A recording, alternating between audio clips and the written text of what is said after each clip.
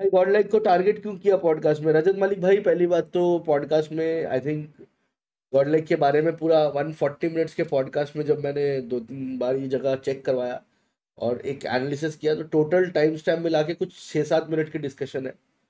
उसके अलावा एक घंटा तीस मिनट बाकी चीज़ों के बारे में हुई है।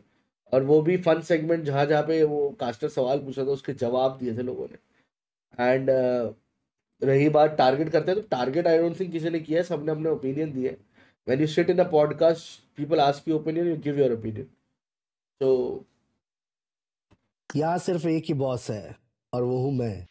और वो हूँ मैं। मैं।